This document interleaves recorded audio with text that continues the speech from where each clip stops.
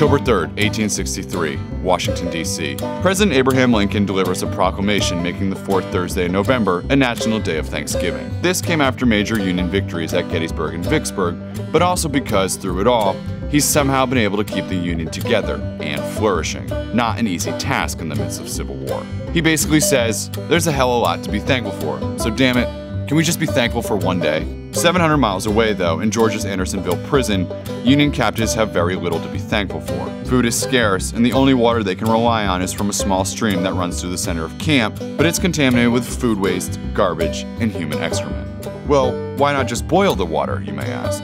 Great idea, except Andersonville is essentially an open field with walls around it, so gathering wood to build a fire is nearly impossible. Then, you've got the roving gangs that'll kick your ass and steal all your shit a lack of protection from the elements, and the unrelenting Georgian sun that beats down on you from May to October. To deal with these conditions and have some kind of hope when there really isn't any, many Union captives at Andersonville turned to faith. Prayer became a powerful tool in the prison, which makes what happened next pretty freaking weird. In August of 1864, after two months of searing heat and the skyrocketing death toll, a giant thunderhead appeared.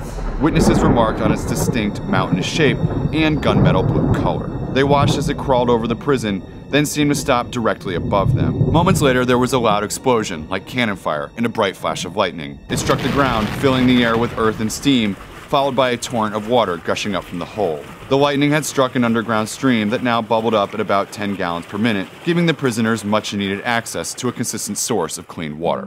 Believing it was an act of God, the site almost immediately became known as Providence Spring, and you can still see it today at the Andersonville National Historic Site. So, what do you think? Act of God or pure coincidence?